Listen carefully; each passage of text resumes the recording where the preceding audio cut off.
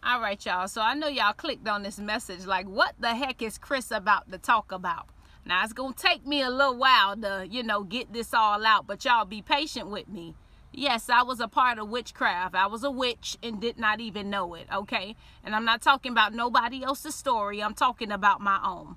So in order to get to where we going, we going to get to where it started at, all right? Now, most of y'all know that I'm from Liberty City, and some of y'all don't know what Liberty City is, okay? Liberty City is a place in Miami that's on the other side of the bridge. This ain't South Beach. Nah, this is a place that's full of poverty. All right. This ain't no place that with just with palm trees. Matter of fact, you don't even barely see no palm trees or grass. All right. It ain't all of that where I'm from. But I'm from there, okay? And when you come from a place where it's not so great, you're always determined to be better. There's a determination to be better, to have more than what you got to live in something better than what you done been brought up in. And I would say the example of that were the women that were around me who were members of Delta Sigma Theta Sorority Incorporated. These were those type of women, okay? Now, if you wanted to be somebody, them girls who had them cars, who had great education, who were well spoken, you were one of them. Or you really wasn't nobody at all. So here I come. I'm like, shoot, I'm with it then. If that's what I got to do to be greater, I'm going to do that. I want to be, you know, joining forces with people who are going to help me further where I want to be and also do great for the black community. I'm about this. And I feel like my my history with Delta dates back to being a Delta Gem, even in high school. So I didn't just become, you know, a Delta when I got to college. I was in pursuit of this thing from my youth. I was a Delta Gem. I had mentors. I was president of the Delta Gems chapter that I was in, and we continued in this and we did great things. And I felt like these women did great things for me. I would love and be honored to pay it forward and be their sister. I, I want to join those ranks of these people, those them people. And I'm trying to get from around where I'm at. I'm trying to go higher. I'm trying to take it to the next level, if you understand what I mean.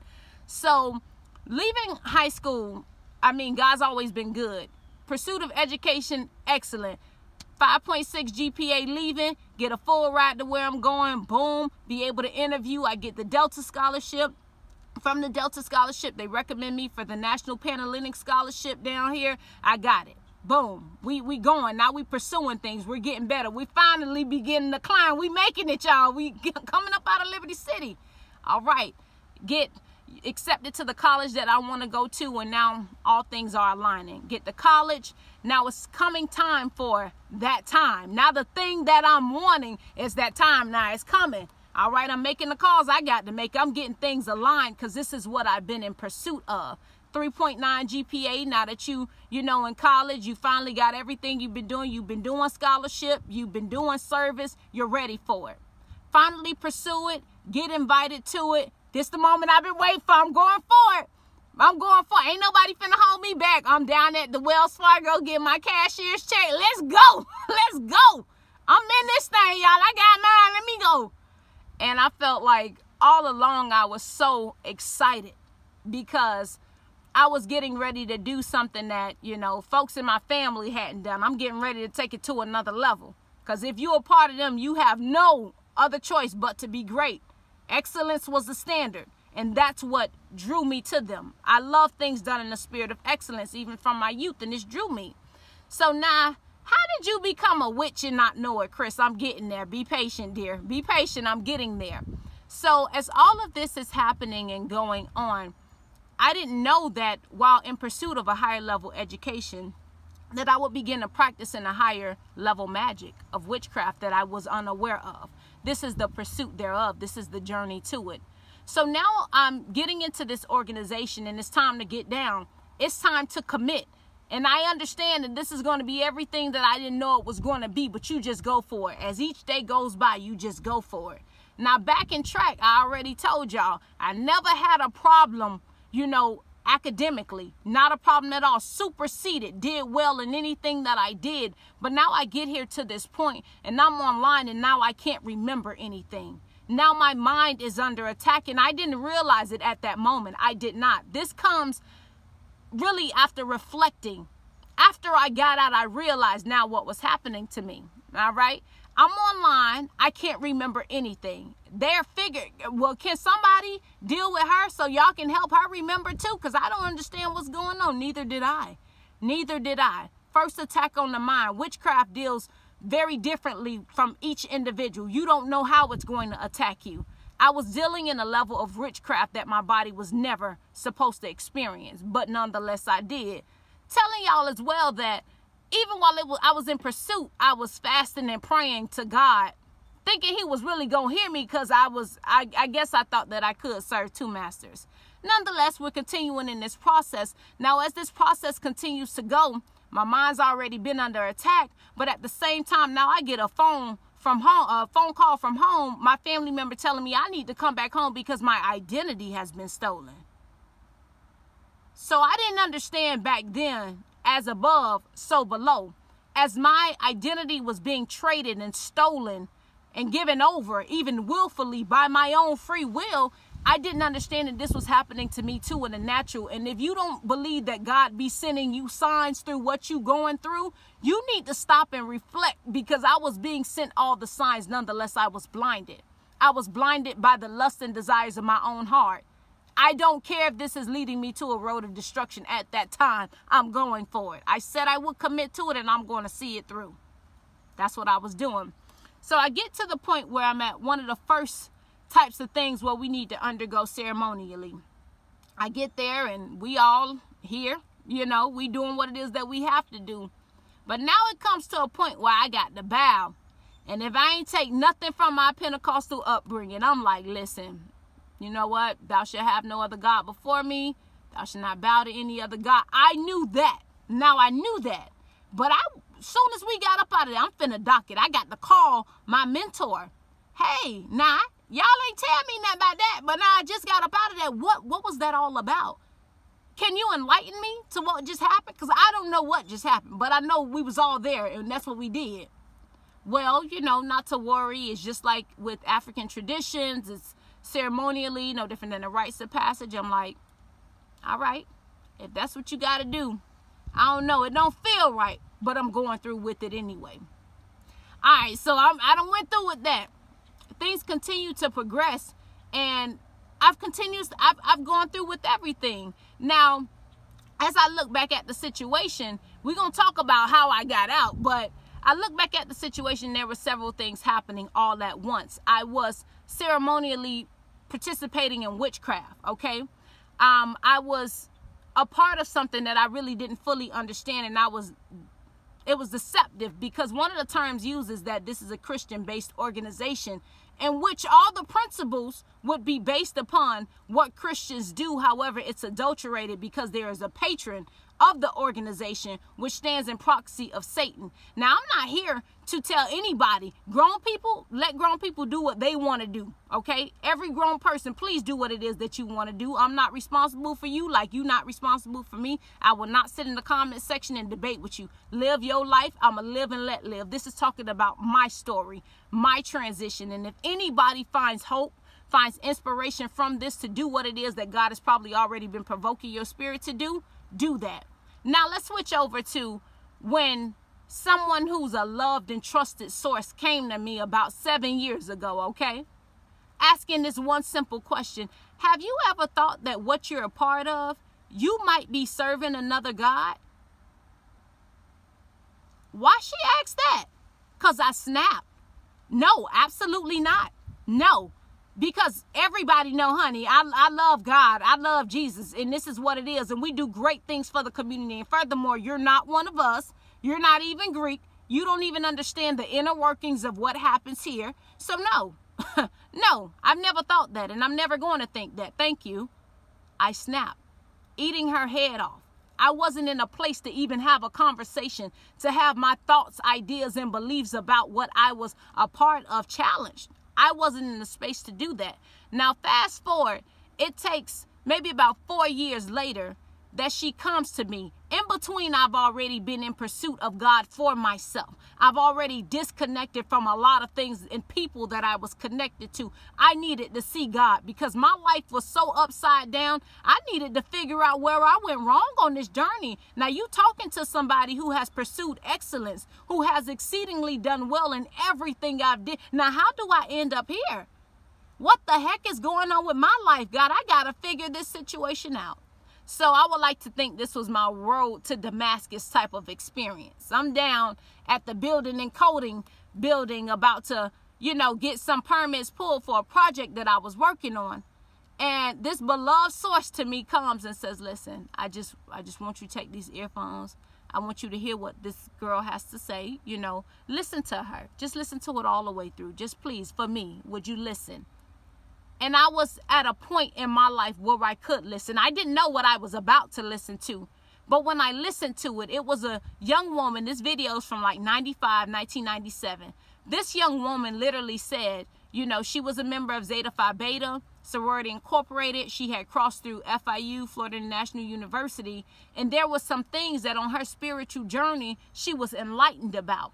And as she began to speak about her journey, she asked a question if this is all Christian based, then why would we need a patron to be the forefront of an organization?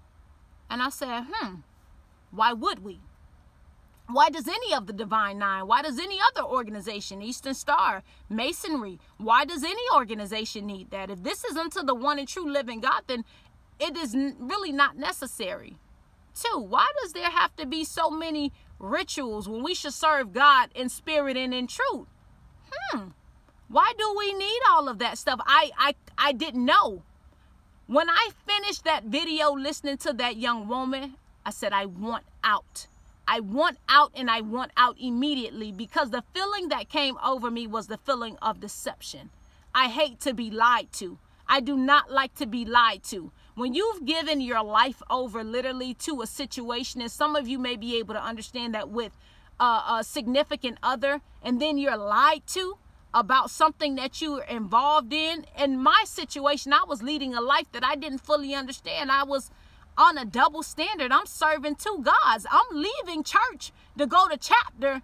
I'm serving two gods. I am kneeling before a different God. And I just felt so disgusted in my spirit that nobody told me this. How could I be a part of this? Did the people who brought me in, did they know what how did I end up here?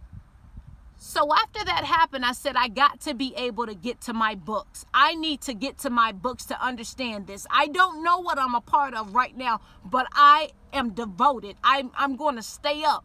I will read this stuff from front to back and back to front to figure out what I'm a part of. Now, I came to a point in a passage of something that you're given earlier on and in that book, it said, You have now entered into a struggle from which you would never be freed. I was shook. I was shook. Hold on. Entering into a struggle from which I would never be freed. Now, I knew that this was for a lifetime, but I didn't know what we were serving for that lifetime because it was masked. Now, you put a patron there, but then people would argue that the patron isn't what we serve. Well, why I got to be there? Why when we sing songs, you know, we say this patron's name. We say Minerva. Now, if I'm serving God, Holy Spirit, Jesus Christ, no, Heavenly Father is just too vague for me. Who we talking to? I felt some type of way, okay? Now, after getting this stuff together, I would say that it was as much as a struggle that I had to get into Delta in order to get out of Delta. It was a struggle. I had write your letter, follow up every day. It took six to eight weeks, probably even longer if I can think about it, because I've been out for years now. But just as much as I would call daily or follow the rules that I needed to follow in order to get down, I had to do that in order to get out. When I look back at my journey and what that journey was like while I was in that organization, I was deceived. you know, I just didn't know and I know that that spirit can fall under anybody. That's why I'm not I'm not there to judge anybody. Again, grown people, let grown people do what they want to do. If you find the need that this is a video of substance that leads you to do your own research, then do it. If you figure that this video is trash and garbage, keep scrolling. This is not for you, but I'm simply telling my journey because the girl from Liberty City was in pursuit of greater. I didn't understand that everything I needed was already inside of me. I left my position as the elect, okay? The light, the children of the light, to join something that was called the elite, okay? I joined the elite, but I left my ultimate position of the elect. I think about our last our last going over, which is a probate show. Now, if we look at the natural, right? And if we're looking at this natural thing, a probate show and then an in probate court. Now, what in probate court happened? It's a legal process to make sure that the last will and testament of the deceased member is carried out. Probate show, probate court. There was something that was happening in the spirit realm that I did not know back then. There was a selling out of the birthright. And if you don't think birthrights are real, I want you to go read about Jacob and Esau. He sold his for a bowl of porridge. As a descendant of Jacob, I do believe that Satan wanted that birthright back. So it came masked, you know, through all of these things that the heart, which is desperately wicked, was in pursuit of. I wanted more. I was in pursuit of more. I deserve more. I am this. I deserve more. I, I deserve to be amongst the elite. I deserve to be the head and not the tail. Let's go. I want more, and I'm going to do this with a group of people who get it. You know, because everybody around us just don't get it. And that's what I felt. But later on, I was left deceived. And there is a terrible feeling to be deceived. When getting out, and I dropped a video about a year ago telling you that there's no feeling like being free to provoke you all to denounce anything that is not of God and is keeping you from divine destiny. This is that season. You know, things are timely. Things are so timely. You've got to understand that these people have an artificial light, okay? They tell you that the intelligence is the torch of wisdom. But I like to refer you back to the Bible, which says to us that the beginning, the, the beginning of, of wisdom is the fear of the Lord. The fear of the Lord is the beginning of all wisdom. You can't have that. You know, you, they want you to be torch bearers, but I want you to then do your research about what's going to happen to these torch bearers. What's the what's the end result for people? So most of us are familiar when it says, "What does it profit a man to gain this whole world but to lose his soul? What would it profit you? You got everything here, but your soul is in eternal damnation." And as I begin to do my research, crossing the burning sands. Listen, hold up. That sound like, you know, Moses and the people of Israel when they came over and, you know, God parted the Red Sea for them to walk over on dry land. And then he washed up everybody that was in pursuit of them. Now, if we talk about a sea and then a lake of fire, I'm crossing the burning sands. Now, I've left my position of a child of the light to enter into the darkness. I don't want to go to hell. Hell is too hot. I don't want to be tormented. I I was I was really a part of this. I was die hard. I practiced my oops. I practiced in this stuff. I went to other campuses and with other chapters. I want to know how this song should be sang. No, I don't want to sing it the way we've been doing it. I want it to be right according to the musically composition of how this was supposed to be.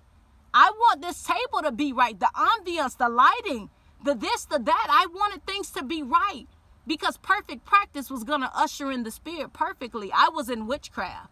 Now, I'm not talking about anybody else, I'm talking about me. I walked around with a ritual book. This is me. Now, what do witches do? Practice witchcraft, perform rituals. That's what I did. Some people won't keep it funky with you about what they doing. They glamorize it. And to the outside looking in, it does look golden. The splendor looks golden. But they've already told you that everything that glitters is not gold. The experience was one that I could not fathom. I, this was everything that I didn't know was about to happen.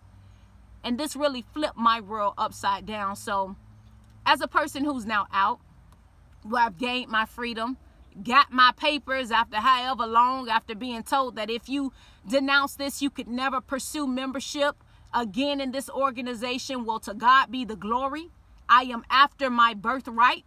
I want everything back that the enemy has stolen from me. Satan's agenda is to steal, kill, and destroy. Something was stolen from a great many people of you who are even inside of these organizations. And the one thing that I want you to know the elite will pursue you when you are the elect of God.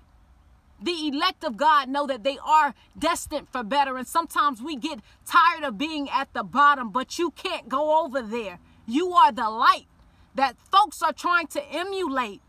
That's an artificial light. Only the light of God will be standing forever. If you want to be free, some people love slavery.